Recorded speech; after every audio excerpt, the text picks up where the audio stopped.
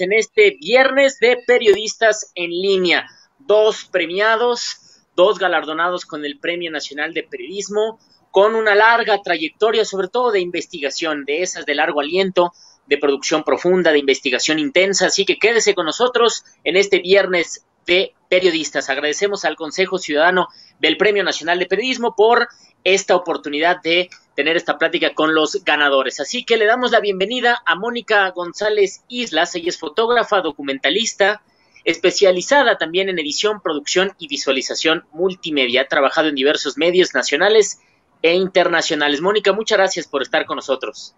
Hola, muchas gracias, Pablo. Muchas gracias, Armando. Muchas gracias. Ella es Mónica González Islas y también está con nosotros en este viernes de periodistas en línea Pablo Ferri Tórtola, escritor, reportero y productor en la plataforma de podcast Así como suena.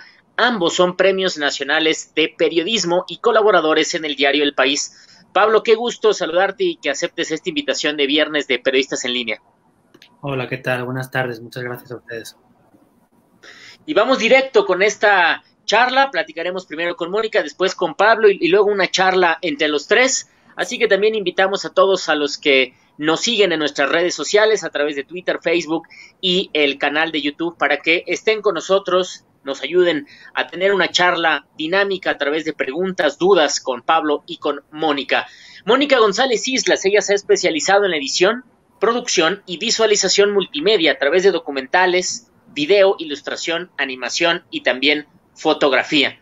Realizó y coordinó los proyectos Más de 72 Cadena de mando, buscadores en un país de desaparecidos, el país de las 2.000 fosas, mujeres en la vitrina, migración en manos de la trata. Ha colaborado con Vice, con The Dallas Morning News, Newsweek, Nike, HBO, a ver si lo pronuncio bien, también con In, Inrocoptibles, The Guardian y actualmente en el staff de El País, multigalardonada con premios nacionales e internacionales. Mónica, un placer que estés con nosotros, aceptes esta invitación y adelante. Armando, muchas gracias y muchas gracias por vernos. Pues eh, afortunadamente en el 2011, eh, Geografía del Dolor fue, un proyecto que empezamos en un colectivo que se llama SADB. Eh, tuvimos la oportunidad de ganar el Premio Nacional fui la segunda mujer en la categoría de imagen de ganarlo en la trayectoria del Premio Ciudadano. Y eso, la verdad es que también le pone un extra muy significativo hacia la trayectoria de nosotras como fotógrafas y en la trayectoria de muchas fotógrafas en México. Eh, como ya lo saben, eh, yo formaba parte de un, del staff de Milenio y cubría eh, de manera cotidiana en, en fotoperiodismo la la actualidad, la, en ese momento la caravana de, Movimiento por la Paz que salió de la Ciudad de México hacia la parte de Cuernavaca cuando matan al hijo de Javier Sicilia y después va hacia Ciudad Juárez y luego hacen una segunda caravana eh, hacia el sur de México también para escuchar a la gente que no había podido eh, o no había tenido acceso a tener difusión sobre la desaparición, sobre el asesinato y sobre algunas cosas que están sucediendo, sobre todo de violencia en ese entonces. Eh, nosotros en el colectivo Salve, con Javier García, Alejandra Saavedra, Iván Castanera, habíamos estado trabajando una idea que era hacer un multimedia.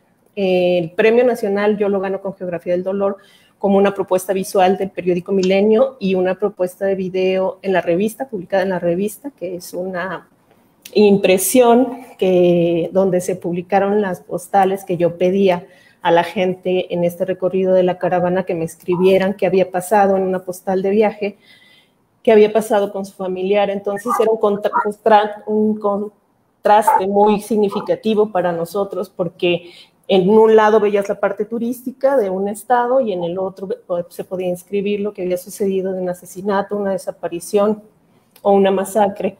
Eh, en realidad lo que yo a mí se me ocurrió en ese momento fue plasmar, no gráficamente con una fotografía de los familiares, sí, como las que ya habíamos visto en otros eh, eventos o en otras eh, irrupciones a la cotidianidad de la ciudadanía con violencia, pero creo que el escribirlo en la postal le dio otro significado porque la gente tuvo como una catarsis de escribir ahí lo que realmente sentía y que no podía decir. Había también personas que no sabían escribir.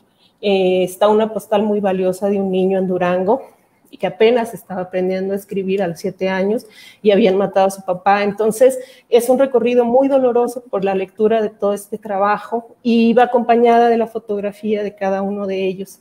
Eh, esta impresión en la revista Milenio eh, fue la que tuvo el premio nacional al lado de un trabajo que hice de video con Daniela Larrea, que ella me, me invitó con Daniela Pastrana y Marcela Turati para un primer ejercicio de la red de periodistas de a pie que es eh, Entre las cenizas. Y ese trabajo quería hacer en los capítulos cómo demostrar cómo la gente, a pesar de los, todo este tiempo que les había pasado, tantas cosas, en, estas, en, estas, en estos reportajes que se hicieron también en un libro y en un web, en lo que se recogía es cómo salimos adelante como población ante una adversidad tan fuerte como fue esta década de violencia que todavía sigue. Mm, creo que el mayor acierto de haber tenido la fortuna de haber sido seleccionada por el jurado en ese año fue que eh, el proyecto se visualizó mucho más, o sea, tuvimos la oportunidad de este primer pitch, digamos que se hizo con Entre las cenizas como video, se transformó en un web documental. Y lo digo con, esa parte porque a veces cuando hacemos trabajos así y tenemos un reconocimiento, tenemos como cierto... Eh, nos remuerde la conciencia, ¿no? O sea, sentimos como periodistas que estamos no mereciendo algo que, que, que, está, que está doliendo a los demás o a la gente a la que entrevistamos o con la que estamos trabajando. Yo la verdad sentí muchísimo el haber tenido ese reconocimiento, pero después eh, tuve la oportunidad de visualizar, o sea, de darme cuenta de que este, este trabajo se estaba viendo mucho más. El de la revista posiblemente ya no, pero que entonces en la parte multimedia, en este proyecto se había abierto, ¿no? Porque pues las revistas y los periódicos mueren y se van a, las hemerotecas o se reactivan de manera digital, pero digamos que el multimedia abre en, entre las cenizas un espacio en el que nos, a nosotros como colectivo creamos eh, la segunda parte y creemos que esta eh, pues democratización de la información tenía un segundo aire.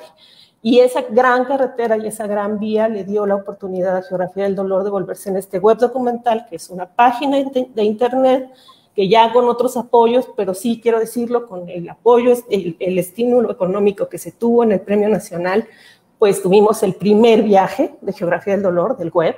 Entonces, digamos que se reinvirtió ¿no? ese dinero que se da eh, significativo a quienes ganan el premio. Ese dinero se reinvirtió en los primeros viajes para, para ir a buscar a las familias que, pues, que, ya habíamos contactado y hacer los cortometrajes. ¿no? Así iniciamos Geografía del Dolor y en base a este proyecto eh, pudimos hacer o mostrarle a la gente y les decíamos si, si querían, a los familiares, si querían participar, ¿no? Y cuando leían el, el, sobre todo esta postal y la carta de Nepomuceno Moreno, eh, la gente en realidad se, desmoronaba, pero al mismo tiempo se llenaba de energía. Y creo que esa parte es, la parte de geografía del dolor. Nos da mucha alegría porque eh, a pesar de ser un trabajo muy duro, los 10 cortometrajes son muy fuertes, duran 10 minutos. Mucha gente nos ha dicho que no lo han visto completo porque duele, porque sales llorando, porque no entiendes por qué hay tanta injusticia y lo que va a pasar con ese, por ejemplo, con Fernando, ¿no? Entonces, todas estas cosas nos van eh, llenando hacia atrás o nos va dando miedo de, lo, de las cosas que estamos cubriendo, pero luego nos impulsa porque la gente misma tuvo una, una muy buena recepción de este proyecto. Eh, geografiadeldolor.com sigue activo, seguimos eh, teniendo muchas visitas. Eh, hay que destacar que cuando se hizo en el 2000, 13, cuando se planeó en el 2013 con el apoyo del FONCA de conversiones, era el primer web documental que se había planteado en México, entonces también eso nos, nos gustó muchísimo, ¿no? Eh, tuvimos la participación de mucha gente, en la lista del proyecto están alrededor de 35 aliados, ¿no? Que nosotros le llamamos, pero son todos aquellos que nos recibieron, los músicos, el programador que está en Estados Unidos, toda esta gente que se juntó. Y bueno, pues de ahí hasta ahora, eh, un poco para cerrar mi espacio, creo que lo que a mí me ha significado este primer ejercicio de geografía del dolor es ayudar a entender que estos proyectos colectivos sí tienen mucha fuerza, porque los unos hacen su mejor esfuerzo en, su disciplina y en, en, aquel momento había una discusión muy fuerte, una confusión sobre el multimedia en nuestro país. Estábamos hablando de las primeras páginas web de periódico donde se montaban las maquetas idénticas que el periódico impreso. Entonces eso era muy triste y pues la verdad es que darle una navegación, darle una intención, que escuches un web, que hagas un recorrido por el mapa negro de México, que, que veas el diseño tan hermoso que hizo Alejandra Saavedra, que escuches la música de Kemayama, que es un son jarocho, todo esto forma parte de un concepto, de una web documental y una narrativa que era que nosotros queríamos que se entendiera, porque está traducido al inglés, en el exterior qué es lo que nos estaba sucediendo. Y como país, explicar la desaparición, pues todavía no lo entendemos, ¿no? Mucho menos no lo entienden en otros países. Cuando lo presentamos en Argentina, no entendían qué era lo que estaba, qué era lo que pasaba en realidad, por qué desaparecían chiquillas, por qué desaparece un pueblo completo, por qué. Entonces es un poco comprender en el contexto esférico, ¿no? A los 360 grados, entender que no nada más se desaparece como en, en aquel entonces, ¿no? A ellos les había sucedido que hay tipificaciones y cosas de historias diferentes. Y pues eso me ha llevado a hacer otro proyecto y ahora doy la palabra a mi querido amigo y colega eh, Pablo, porque de ahí surgieron un montón de otras colaboraciones, ¿no? Gracias a esta gran carretera que se abrió con este proyecto de geografía, me dio la oportunidad de entonces conocer a Marcela Turati, con quien hice otros proyectos, de estar con Daniel Arrea y Pablo Ferri haciendo cadena de mando, de iniciar eh, esto que llamamos saltar la, la, tranca, ¿no? O sea, que, que como que no se puede, pues preguntemos a un programador, yo creo que es más fácil si lo presentamos con un mapa, yo creo que es sería juguetón si lo mostramos así, ¿no? Eh, yo creo, sobre todo defiendo, que la gente no tiene por qué tener este impacto doloroso como audiencia de estos temas y que nuestro compromiso tal vez, sobre todo como fotógrafa, es no hacer una disolución del contenido, o sea, del extracto, del dolor, pero sí tratar de lo que yo, nosotros le llamamos en fotografía como de velar, ¿no? O sea, como empezar un poco a gotear, a que vaya apareciendo cuando metes la foto en el líquido, ¿no? A que poco a poco tenga un proceso. Todos los conocimientos y sobre todo estos que son dolorosos tienen que ser lentos. Eh, no podemos, hemos dado eh, como país, después de ser el país de las 2.000 fosas, hemos dado un brinco enorme, ¿no? Ahora está mencionado en uno de los escritos eh, de la ONU, está citado el proyecto de este colectivo tan bonito que se hizo para, para hacer este proyecto de investigación. Entonces creo que eso, como irlo haciendo lentamente, porque además nos ha costado como país entenderlo, pero también nos ha costado como periodistas y hemos aprendido haciendo y cometiendo errores, claro, eh, a que todo esto se lo tenemos sí que contar a la gente, pero también podemos hacer daño a quienes estamos contando. Entonces, son un montón de matices, pero bueno, pues un poco para, creo que ya se me acabó el tiempo, para concluir, lo que están viendo es el mapa de mi casa, esa fue parte de la investigación, fueron cinco años recopilando todos los testimonios y son pequeñas fotitos, ¿no? Cuando entren al sitio van a entender cómo, cómo ese fue el resultado, pero son alrededor de 45 testimonios los que fueron recuperados o los que fueron tomados.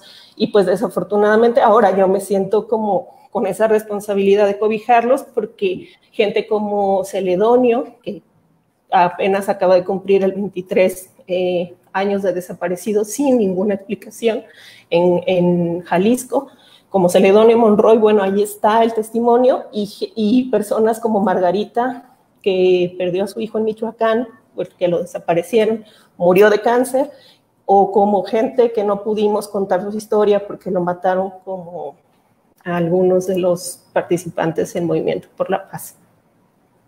Muchas gracias, Mónica, por esta exposición, lo más resumida posible, con enfoques en la importancia de lo que tiene que ver con la visualización adicional que le dio el premio, con la importancia de lo multimedia y con destacar también este tema de los proyectos colectivos. Vamos a regresar con, con estos temas más adelante, Mónica, muchas gracias. Y vamos con eh, Pablo Ferri Tórtola. Él es reportero desde el 2009, es coautor de Narco América, de los Andes a Manhattan, 55 mil kilómetros tras el rastro de la cocaína.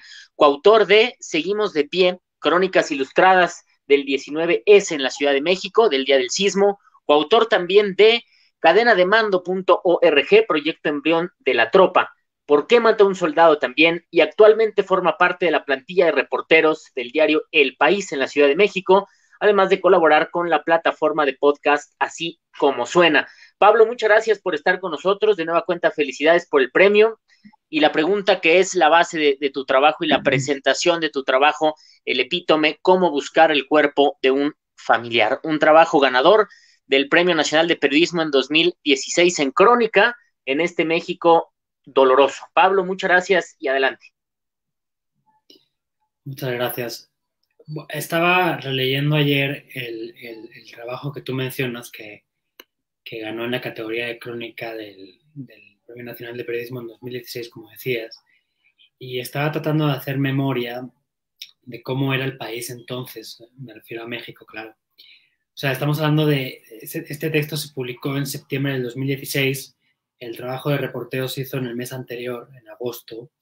Entonces estamos hablando de, del, último trienio del gobierno de Peña Nieto, un trienio caracterizado por, por, por, una, por, algo distinto de lo que había pasado durante los primeros años de, Peña Nieto, ¿no? No, no, no es, eh, no es el Ejecutivo triunfador que había sacado adelante las reformas estructurales en los primeros años, este PRI que volvía de las cenizas, cual de Fénix, diciéndose distinto del PRI que había gobernado el país durante más de 70 años, ¿no? Eh, no, era el PRI de Peña Nieto, después de Yotzinapa, de Tlatlaya, después del escándalo de la Casa Blanca, de la Casa de Marinalco de Luis Videregara, etc. Y en concreto, en el caso de Veracruz, este trabajo cuenta la historia de un grupo de familiares de personas desaparecidas que buscan a los suyos en una red de fosas en Veracruz. Estamos hablando del, Veracruz de Javier Duarte, parece lejanísimo, pero en realidad hasta octubre de 2016 estuvo gobernando Veracruz y estuvo gobernando Veracruz durante casi seis años. ¿no? Él pide licencia en octubre de 2016, pero había estado desde 2010. Recordemos que para entonces el jefe de policía del estado de Veracruz era todavía Arturo Bermúdez, eh, que durante muchos años eh, se rumoreó que estaba detrás de muchos de los casos de, ataques contra eh, la prensa no cercana al gobernador o al gobierno, ataques este, contra activistas, también le han señalado en muchos casos de desaparición forzada, etcétera, y que finalmente fue a parar a la cárcel por otro motivo que no tiene que ver con este. Pero bueno, e-, era una época, era una época complicada, ¿no? Recordemos que Javier Duarte está actualmente en prisión, este, acusado de varios delitos, uno de ellos eh, eh, asociación para cometer, o sea, eh, asociación, es que no me acuerdo el nombre exacto, pero bueno, es como delincuencia organizada, pero un pasito por debajo, ¿no? Y esto, y esto eh, por robarse dinero del erario público y triangularlo a través de una red de empresas fantasma. Una, una, una historia que ha documentado muy bien Arturo Ángel, el animal político. Bueno, pues en este contexto ocurre, fuimos nosotros a, a Veracruz, a una zona que se llama Colinas de Santa Fe, que está muy cerca del puerto de Veracruz. Si digamos que el que va desde Jalapa es entrando a Veracruz del lado izquierdo, cerca de una colonia muy popular que está antes de llegar a la zona portuaria, ¿no? Entonces, bueno, este, yo recuerdo muy bien aquella época porque prácticamente no tenía idea de, qué implicaba el hecho de que te hubieran desaparecido un familiar, ¿no? Entonces, para mí fue todo un descubrimiento eh, entender, bueno, por lo menos escuchar a las personas con las que conviví, todas estaban buscando a alguien, eh, todos o casi todos eran parte del colectivo Solecito, que es uno de los colectivos de familiares de personas desaparecidas que funcionan en el puerto de Veracruz. Hay un montón, no solo en el puerto, sino en el área metropolitana. Y, ahí, en, el texto, básicamente lo que contamos es cómo es el día a día en, un grupo eh, como el colectivo Solecito, eh, yendo a buscar a una red de fosas. La red de creo que hoy en día cualquiera que, haya tocado desde el punto de vista periodístico, académico, que le haya interesado este asunto, eh, sabe o ha escuchado hablar de, la red de fosas clandestinas de Colinas de Santa Fe. La red de fosas clandestinas de Colinas de Santa Fe, digo que está a la entrada del puerto, eh, fue una de las primeras redes de fosas clandestinas masiva que se encontraron en, Veracruz. Eh, se, encontró, si no me falla la memoria, en mayo de 2016, apenas tres o cuatro meses antes de que nosotros llegáramos. Y nosotros fuimos los primeros en entrar en, a, la excavación con, el colectivo, ¿no? Y, para mí fue muy impresionante porque yo, estaba en búsquedas en otros lugares, estaba en Morelos, en Baja California, en Guerrero, y claro, por las características eh, orográficas y climáticas. En el caso de Veracruz era muy asfixiante el lugar, es una zona eh, muy calurosa, muy húmeda, este, estaba muy cerca del mar ya, estabas medio a la sombra, pero la humedad era tal que no parabas de sudar todo el tiempo. Y cavar eh, en esa época, en ese lugar, era, digo, agosto, era, era, era de verdad una proeza, ¿no? para, me acuerdo mucho de, de, varios de, los, de, las personas que estaban ahí haciéndolo, era, era, era, era brutal, las condiciones eran, eran brutales, ¿no? Pero, pero sobre todo comparando con, con, otros lugares donde, donde, donde he podido observar cómo funcionan las búsquedas, en esta época, allá en Veracruz, por lo menos, este, eran los familiares los que hacían todo. O sea, recuerdo de llegar a la, a la carpa donde, bueno, ellos se cambiaban, se ponían sus trajes, sus mascarillas, este, agarraban las, las, las, las cruces ¿no? Eh, puntiagudas para, para, para, agujerear el piso y, y, ver si allí podía o no haber una fosa, las palas, los picos, etc. Y, y, había luego una carpa cercana donde estaban las autoridades, que podían ser pues, policías estatales, federales, pero vamos, el trabajo duro lo hacían las familias, ¿no? O sea, los que estaban cavando la tierra esperando encontrar finalmente eh, eh, los huesos los restos de uno de sus familiares eran ellos, ¿no? Entonces a mí me pareció muy chocante el asunto de que no hubiera una, ¿cómo decirlo? Un filtro, por lo menos un filtro, entre la cruda realidad de las fosas y el dolor de estas personas, ¿no?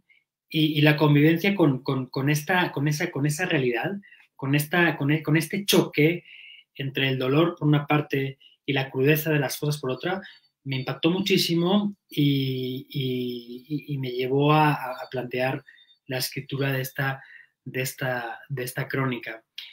Luego, claro, con el paso de los años, ya en contexto, este, te das cuenta de que en realidad eh, las, explicaciones que, podríamos haber dado en su día, eh, que, dimos en su día, podrían haber sido mejores, porque bueno, este, al final es lo de siempre y seguro que, Mónica estará de acuerdo conmigo ahora, ojalá lo platiquemos, pero eh, la, red de fosas de Colinas de Santa Fe es la prueba material de que resulta equivocado pensar en qué es el crimen organizado, pensando el crimen organizado como un grupo civil ajeno al Estado, ya sea federal o estatal, valga la redundancia, sino que es al contrario, ¿no? Sea, es, eh, eh, es un lugar que se ha usado por unos y por otros. Y a veces en conjunto, a veces por separado, eso no lo sabemos todavía. Pero aquí en, las fosas de Colinas de Santa Fe encontraron, eh, sin ir más lejos, a, un fiscal de Veracruz, de apellido Barradas, si no me falla la memoria, ahora lo voy a buscar, que había sido levantado, según denunció su madre, por policías estatales del estado de Veracruz. Y acabó ahí mismo, en el mismo lugar donde luego encontraron e identificaron restos de personas que fueron levantadas por, por, personas sin identificar, no necesariamente policías, ¿no? Eso nos lleva a pensar que muy probablemente este lugar fue usado por unos y por otros, Estado y no Estado. Y quién sabe si grupos que estuvieran integrados por personas de ambos lados. ¿no? Esto lo digo porque me parece muy importante, eh, después de tantos años de violencia y de tantos horrores, pensar en que al final los sectores que generan violencia no son necesariamente criminales como nos podemos imaginar desde, desde casa, ajenos a cualquier, cualquiera de estas historias, sino que son muy posiblemente criminales y agentes del Estado, ¿no? Y eso eh, me parece muy importante tenerlo en cuenta porque muchas de las, muchas de las conversaciones que se tienen sobre el drama de, o, el, gran problema de, de, las personas desaparecidas en México, eh, cuando alguien que no tiene que ver con esto habla del tema y dice, no, bueno, pues es que si lo desaparecieron algo andarían, ¿no? Bueno, pues es que si estaba ahí, pues oye, pues algo hizo, ¿no? O sea, tengamos en cuenta que lo que nos han contado sobre quiénes son los criminales quizá no sea del todo cierto. Y esta, esta lección yo me la llevo también de, de, reportear esta historia.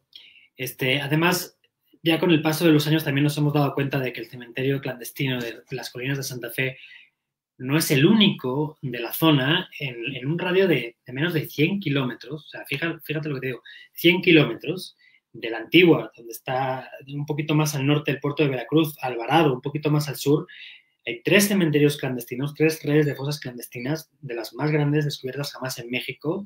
Uno es el de Colinas de Santa Fe, que hasta que se cerró se habían encontrado 156 fosas con 300 cuerpos. El de Arbolillo de Alvarado se halló en 2017, está unos kilómetros al sur de Veracruz, digo, 36 fosas con 175 cuerpos. Y en 2019, la Fiscalía dice que encontró otro cementerio clandestino en La Guapota, eso está en la antigua, un poquito al norte del estado de Veracruz, allí hallaron por lo menos 72 fosas, aún están sacando cuerpos, ¿no? Luego, aparte, está el rancho de, el rancho de Tlaliscoyan, eh, célebre, tristemente célebre, porque Allá es donde llevaron a deshacer los cuerpos de los cinco muchachos que desaparecieron policías estatales en Tierra Blanca, Veracruz, en enero de 2016, meses antes de que nosotros fuéramos a este lugar allá en el puerto de Veracruz. O sea, es una zona de concentración de horror brutal, el área metropolitana del, puerto de Veracruz. Y cuanto más sabemos, más se dibuja o se más, más se refuerza la idea de que no era una cuestión de crimen organizado de la manera, o de una forma tradicional, entendido de una manera tradicional, mejor dicho, sino una cuestión de crimen organizado tiene mucho que ver con lo que hace el Estado. Y, si queréis lo dejamos ahí para, para seguir platicando entre todos.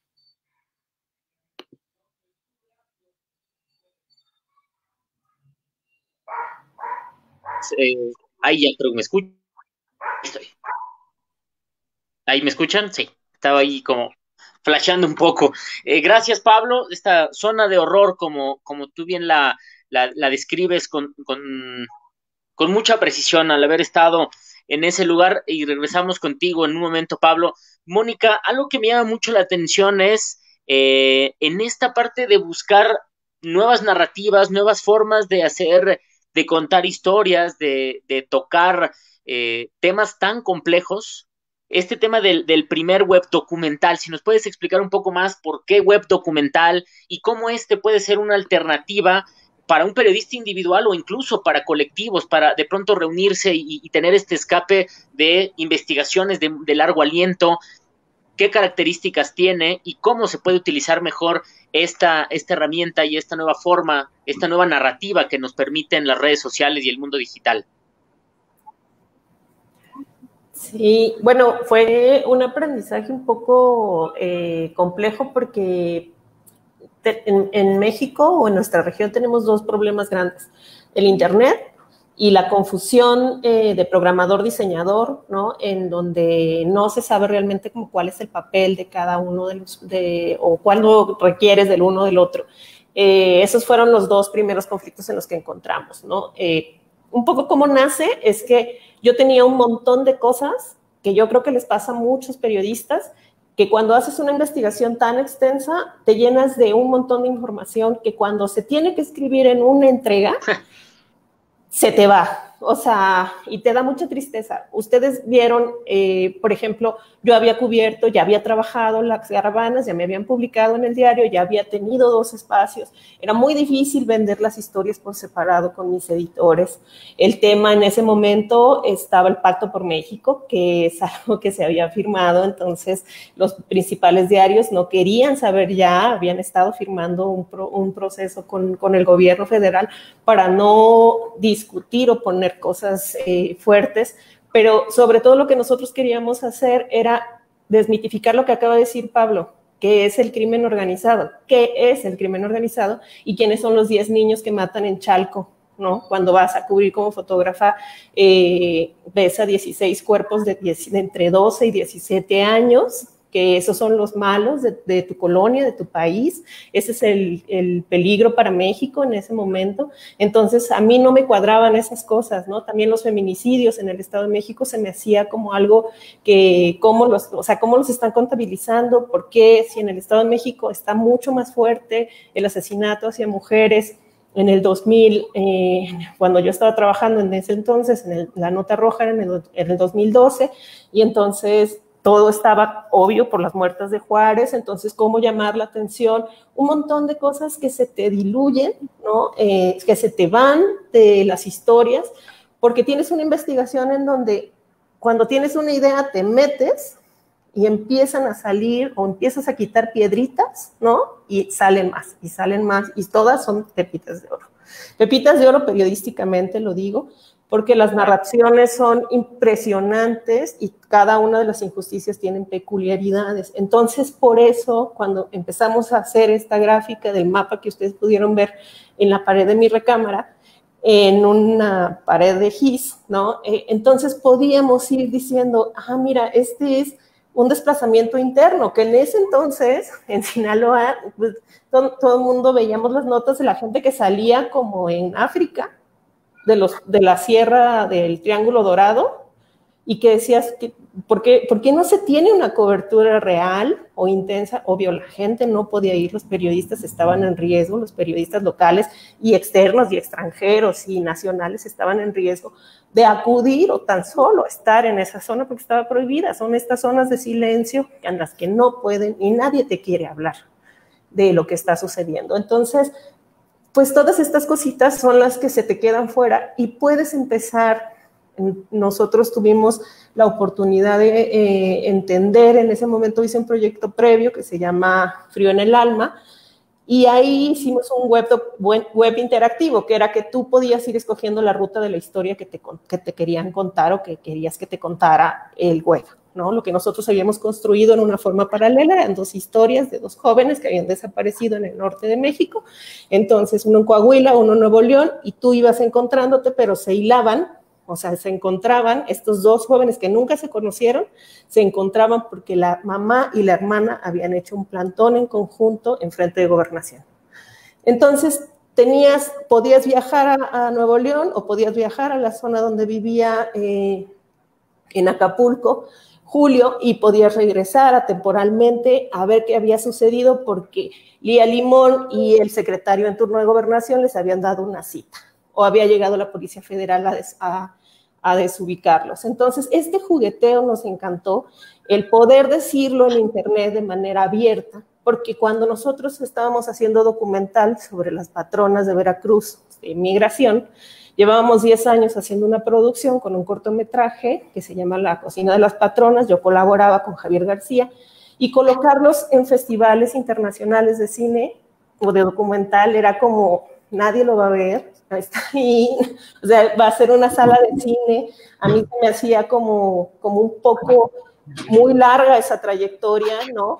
Pero, pero entonces alguien se nos acercó y nos en una capacitación en una escuela. Eh, Luis Arenas, que es nuestro maestro del web interactivo, nos dijo, mira, existe esto y puede ser una plataforma y podemos, y ustedes pueden jugar con contar historias, ¿no? Eso era. Y cuando a mí me dice, y además lo pueden ver en algún otro lugar del mundo. Y eso fue lo que a mí me compró completamente porque podía subir las postales, se pueden leer las historias, puede subir audios, eh, se ven los videos. Incluso lo, más interesante, que creo que fue una de las cosas que nos funcionó mucho, es que tú puedes compartir desde el web a las redes sociales. Entonces, estas 10 historias, 10 cortometrajes, más los otros tres historias que se subieron al web, eh, nos dan la oportunidad de compartir y ayudar a esa persona que estaba buscando, que está buscando a su familiar o que estaba pidiendo justicia por lo que le habían hecho por los asesinatos. Entonces, o por, lo menos enterarse de que alguien había, a un pueblo entero lo habían desplazado en Sinaloa. Entonces, todo esto es como un bono extra, porque no nada más es la fotografía, que es a lo que yo me dedicaba, sino que ya habíamos incursionado en la parte narrativa de video, pero en cortometrajes, ¿no? Que era mucho más fácil para ser dosificado y para que se entendiera y teníamos la oportunidad de que la gente tuviera acceso a las fotografías, pero también a las postales que ya me habían escrito. Entonces todo, o sea, en estos, en estos espacios y regresando un poquito a esto que, que se cuestionan muchos, ¿qué significa este, este proyecto? Pues nosotros le llamamos en un inicio, es, es, un proyecto transmedia, porque es un libro, fue una exposición en el Museo de la Memoria y Tolerancia, se entregaban las postales en, las, en cada una de las, hacemos postales chiquitas y las entregábamos, las volateábamos, o sea, fue un, un trabajo maratónico y, estábamos promocionando el web todo el tiempo. Entonces, los dos, las dos historias, de Julio y la de, y la de Héctor, que están dentro de Geografía del Dolor, que estuvieron en, en Frío en el Alma, se presentaron de manera como dinámica en, en el Cinemex Diana, en un festival de cine, entonces la gente en el cine podía escoger con un rayo láser qué historia o dónde quería pichar, para qué, qué video quería ver. Entonces, jugar con todo este tipo de cosas creo que vale la pena. Eh, porque la gente cuando escucha sobre todo la palabra dolor, fosa, desaparición, eh, angustia, ¿no? Eh, lo primero que hace es quererse salir e irse, ¿no? Y si por lo menos tratamos de contárselo o de hacerlo de una manera menos agresiva para cuidar a las audiencias, creo que tenemos la oportunidad no solo de meter toda nuestra investigación o de sumar nuestras investigaciones, sino también de, poder eh, hacer que la otra persona, o sea, la que tú entrevistaste, a todo este grupo de colectivos de, los que hablaba Pablo, de los que iban y buscaban a sus familiares a, terreno, pues pueda compartirlo en sus redes sociales. Los familiares eran los primeros que compartieron sus historias, que veían sus historias, que se veían ellos, porque verte cuando te está tocando algo tan fuerte vivir, en pantalla es complejo y ellos compartían, siguen compartiendo estas historias en sus redes sociales. Y otra de las cosas que ganamos, creo también es importante decirlo, es que dentro de este trabajo de compartir y de entregar eh, el trabajo de manera gratuita en la web, nos permitió entender que las familias que estaban, eh, querían, seguían haciendo cosas, ¿no? Entonces, después te, te das cuenta que a la gente o a las audiencias les interesa, sí les interesa seguir sabiendo más. Esto que dice Pablo, que su historia se dijo, pero que después sí nos fuimos entrando en más cosas. Entonces, los cereales es otro gran consejo, ¿no? Las entregas, los cereales digo, no estamos inventando nada nuevo porque todo esto de las postales, las cartas, lo hacían en Chile porque no había web, ¿no? Las cosas interactivas o performance se hacían ya durante las dictaduras, ¿no? Se tomaba el metro, se entregaban volantes.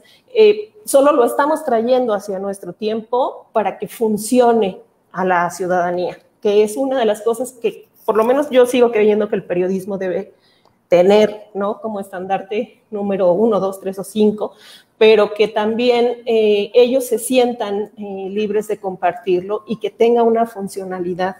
Y bueno, pues después hicimos buscadores y estos cereales te permiten eso, tener varias entregas, hacer varios capítulos, ir entendiendo y comprendiendo de una manera o de otra, ir dividiendo eh, las historias para poder hacerlo, porque no puedes contar todo y sobre todo las cosas tan horribles y tan complejas que nos han sucedido en, yo creo, son tantas historias, desafortunadamente en nuestro país, que creo que vale la pena, por eso yo decía, un documental, voy a tener que sacar un montón de cosas que me dijo alguien y que vale la pena que se cuente solo ella, ¿no? Vale la, vale la pena que, que nos diga solo esa persona, ¿no? Porque no tiene nada que ver con, el, con la otra historia y si sacamos la parte de la investigación, estamos siendo muy injustos con el tiempo que nos dio, pero sobre todo muy injustos con, con la audiencia porque la estamos coartando de información que puede ser muy relevante para su comprensión.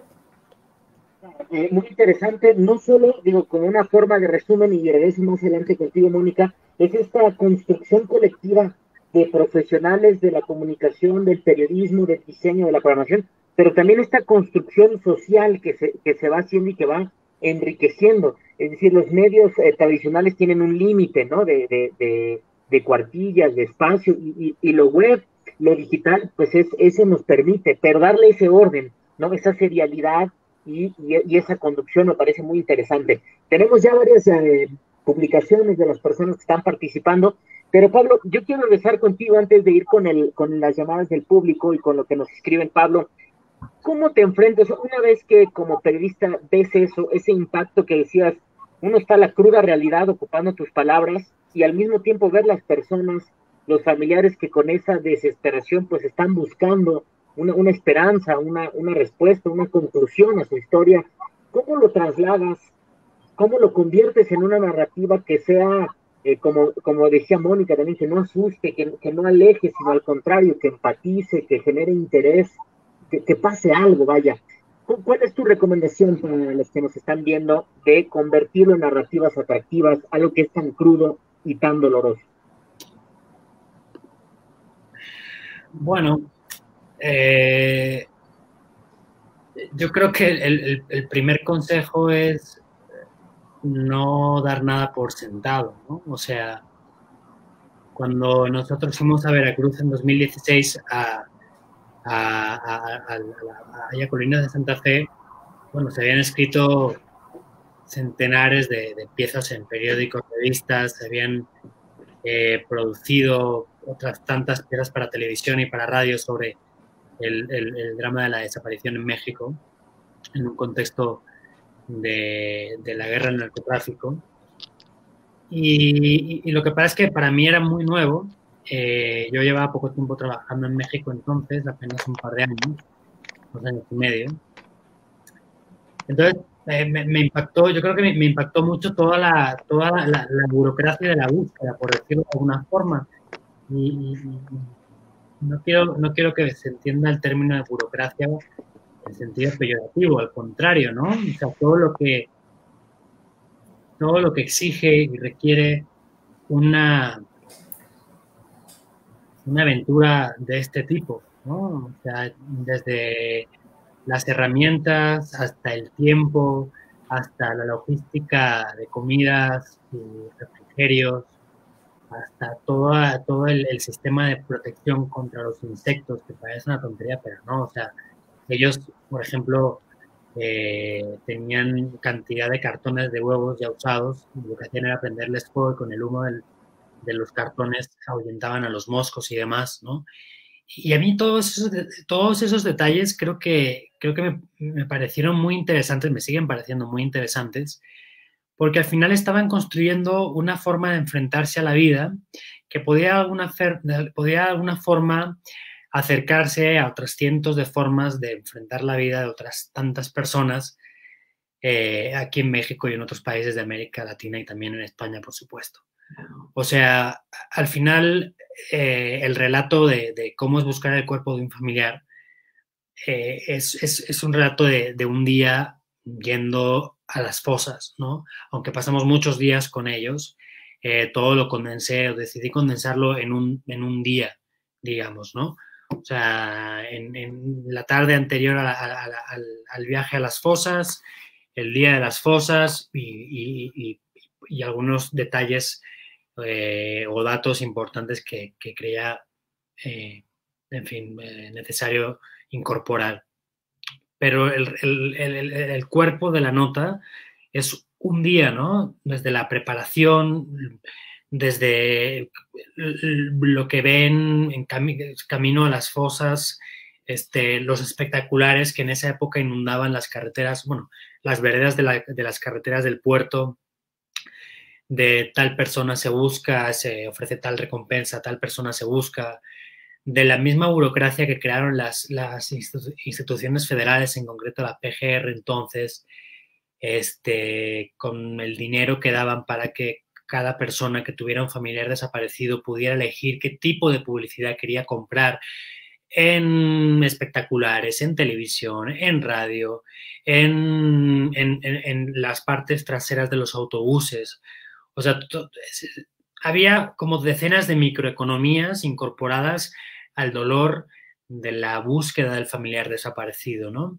Y a mí eso se me hacía increíble, totalmente increíble, y, creo que eh, por un lado mi, ignorancia y por otro lado mi, interés para entender qué significaba esto y cómo esto se configuraba en el día a día como actos concretos, eh, lo, que, lo que permitió que escribiera un texto así tan que, que leído tiempo después me sigue pareciendo bastante, bastante detallista en muchas cosas, ¿no? Eh, y eso creo que ayuda mucho a la hora de leerlo, ¿no? Es decir, no, pues entiendes y ves perfectamente qué está ocurriendo y cómo está ocurriendo y a qué huele y a qué sabe y, cómo se ve el lugar. Y creo que, creo que esa, ya en, este caso y en cualquier otro, creo que ese es uno de los consejos principales que, puedo dar y es que eh, el, reporteo nunca va a ser suficiente, siempre te van a faltar detalles. Entonces, toda pregunta que se te ocurra eh, no solo es necesaria, sino que es imprescindible y probablemente se te olviden 15 necesarias que te vas a acordar cuando ya no estés en el lugar. Entonces, reporteo tiene que ser más que exhaustivo, muchísimo más, siempre.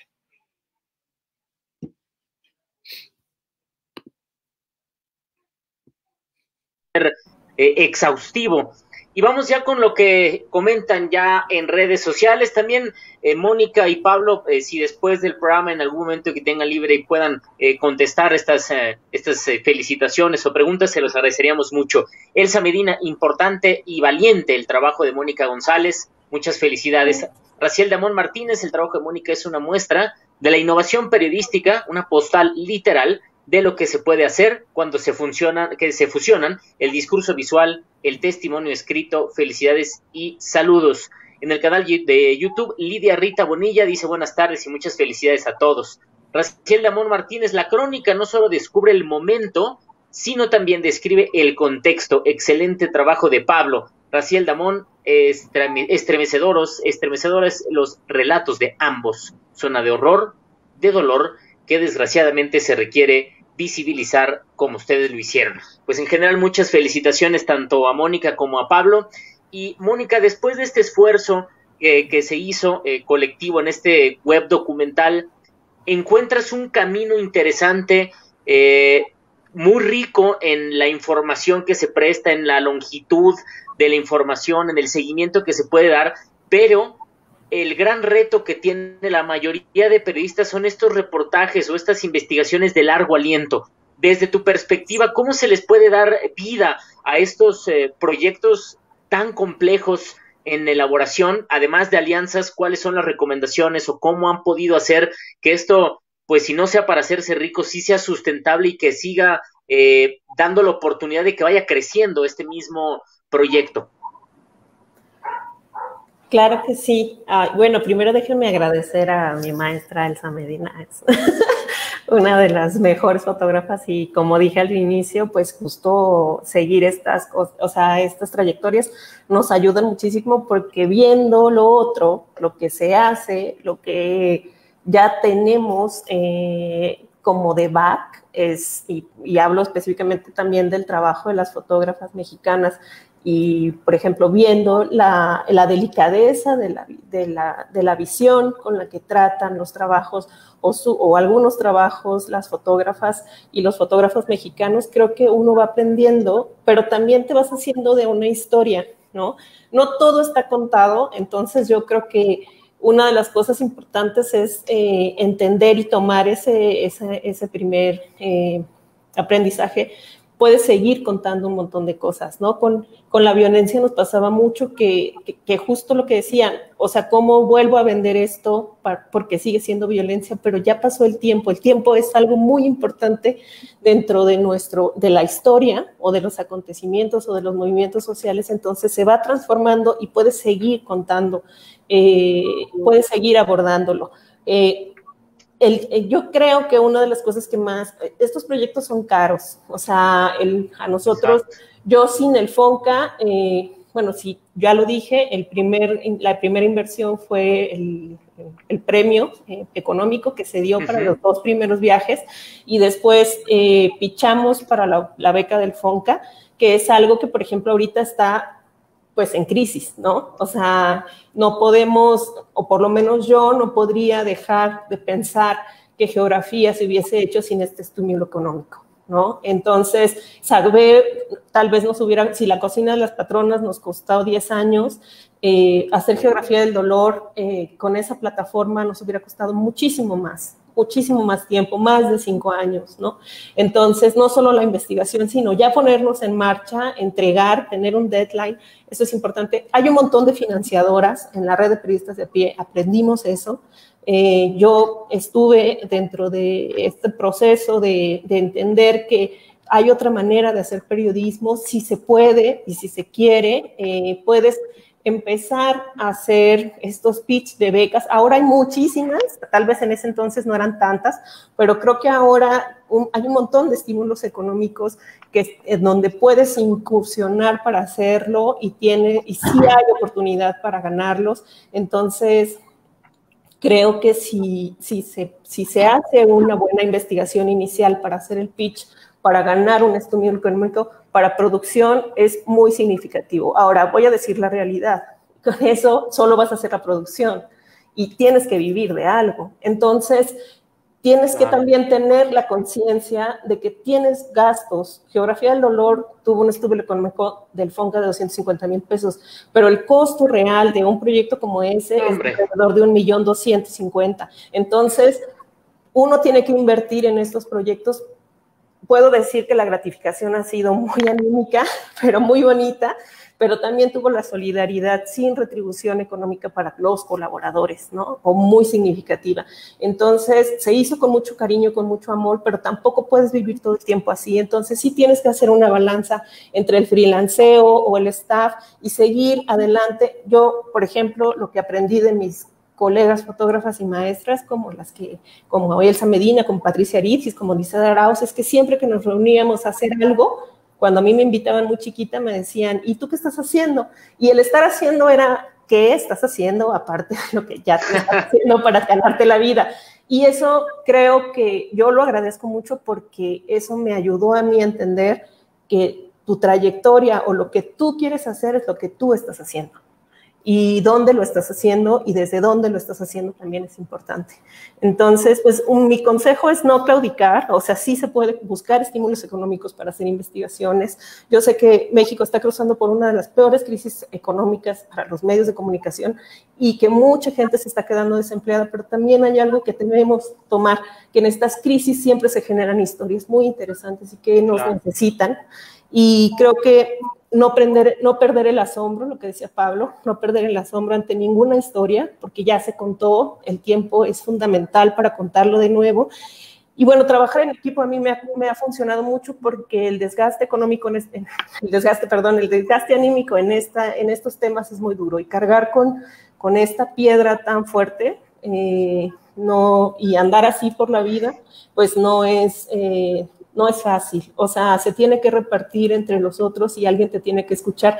Y yo encontré entonces en el colectivo de la red de periodistas de pie gente que quería hablar de lo mismo que yo, que quería discutir lo mismo que yo, que me ayudó a entenderlo anímicamente y que pues con mucho cariño ahora salió un proyecto que se llama Crisis Forense y que ahí sigue y continúa, ¿no? Para poder, de quinto elemento, para poder seguirse alimentando de este gran colectivo, colectiva, colectiva que se ha hecho eh, para seguir contando historias, pero de diferentes estados de nuestro país. Entonces creo que, eh, pues creo que mi recomendación es sí pensar en esta parte del compromiso periodístico, pero a veces dejamos nuestra vida o dejamos nuestra historia o dejamos muchas cosas en el reloj de la espera, del reloj de arena, yo le digo, así como que nunca volteé el reloj de arena de mi vida.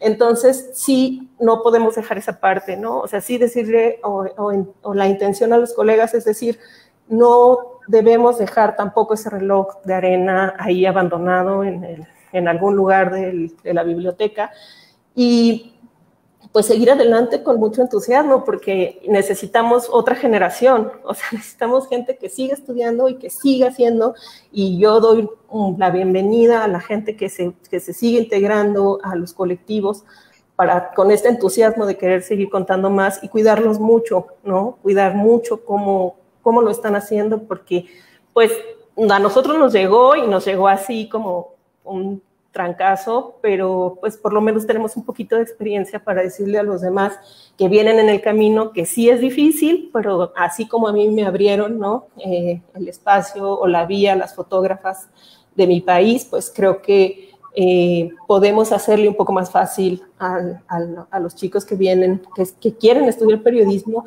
es difícil porque de repente cuando estudias periodismo y te dicen están matando periodistas, ¿no? Eh, no, no, sabes qué contestar al respecto, o si te se preguntan a Pablo, seguido nos dicen, los han amenazado, ¿no?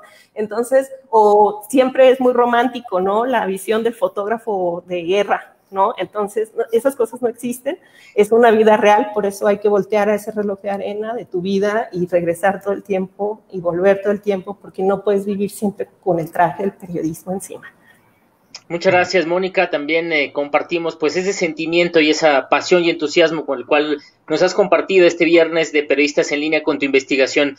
Eh, Pablo, para despedirnos, ¿cuál sería tu conclusión y ¿Qué estás haciendo? ¿Qué sorpresas vienen de parte de Pablo Ferri para las audiencias, para las distintas audiencias, porque estás en muchos canales? Adelante, Pablo. ya, me sentí sombrero de mago, ¿no? Como si fuera ser un conejo. no, este, bueno, ahorita estamos en, estamos en eh, sacando cada semana en el país, y en así como suena. Eh, la Lista, que es una serie en podcast en la que hemos estado trabajando unos años. Esto, hoy se, se, se, estrenó el capítulo 6. Invito a todo el mundo a que, a que cheque nuestro, nuestra chamba. Trata la historia de una familia en la que él es un subteniente del ejército mexicano y ella ama de casa y bueno, en marzo de 2011 lo detienen a él en su cuartel en Saltillo, en Coahuila, y a partir de entonces se dan una serie de circunstancias que, en fin, mm, permite ver la locura que ha sido el sistema de impartición de justicia en este país estos años y además, además de, la crisis de violencia que hemos vivido, ¿no? Eso lo, puede ver quien quiera en, en, en, eh, el, en, el, especial que ha hecho el país, ponen en, Google el país la lista o el país.com la lista, también puedes poner la lista así como suena, o en cualquier aplicación donde escuches podcast, en, aplicación de iPhone, de Android, en Spotify también está la lista o así como suena y lo encuentra. Eso es lo último que hemos estado haciendo. Hoy se estrena el capítulo 6, son nueve capítulos, cada, nueve, cada viernes se estrena uno nuevo. Eso, eso, es lo que, eso es lo que he estado haciendo en los últimos, en los últimos meses más intensivamente. Y bueno, y, yo creo que, que, a seguir, o sea, estamos en un momento como cualquier otro clave para el futuro del país. Se va el secretario de Seguridad actual eh, del gobierno federal, llega una persona nueva. Tenemos al ex secretario de la Defensa detenido en Estados Unidos. Parece que lo van a mandar a Brooklyn para encarar su proceso allá. El ex secretario de Seguridad Pública del gobierno anterior de Cienfuegos, el de Calderón, Genaro García Luna, también está preso a la espera de juicio. El momento es apasionante y no va a ser por temas. Y además, a mí, me, agarrando el guante que echa Mónica, me da mucho gusto que cada vez hay más colegas que, que vienen empujando de abajo y con mucha fuerza y con una metodología maravillosa. Muchas gracias, Pablo. Yo creo que ojalá puedas en algún momento, con este contexto que nos das de García Luna, de Cienfuegos y con tu investigación que hiciste para entender todo lo que tiene que ver con el recorrido de las drogas desde los Andes hasta Estados Unidos, pues qué es lo que está detrás. Y, en fin, creo que podríamos hacer un gran programa porque ya se nos fue la hora y rapidísimo y apenas tocamos un par de puntos apenas, apenas esenciales. Así que, Mónica, muchísimas gracias por estar con nosotros. Te apreciamos mucho, apreciamos y valoramos aún más el trabajo que estás haciendo y hacemos, por supuesto, una invitación para que vayan a esta página de geografiadeldolor.com, el primer web documental enriquecido y que continúa enriqueciéndose. Gracias, Mónica, y que tengas excelente día. Muchas gracias a ustedes. Muchas gracias, Pablo Ferri. También seguimos en el país, la lista, y así como suena. Te agradezco mucho y ojalá pronto también tengamos nuevos programas con ustedes. Muy bien. Muchas gracias. Muchas gracias. Nos despedimos así. Le damos eh, las gracias al Consejo Ciudadano del Premio Nacional de Periodismo y rapidísimo agradecemos también la retransmisión de periodismo, periódico El Debate, periodismo Pixel, editorial UAS, Librería Universitaria Carlos Manuel Aguirre, Facultad de Ciencias de la Comunicación, Universidad Autónoma de Nuevo León, Comunicación Social de la UAPCO, Universidad Autónoma de Chiapas, CONEIC, Contacto en Medios, Aula Abierta, Revista Mexicana de la Comunicación, Red de Medios Universitarios y Red de Medios Públicos de México. También Soledad Jarquín, Edgar, muchas felicidades y gracias por su trabajo. Muchas gracias y nos vemos el próximo viernes.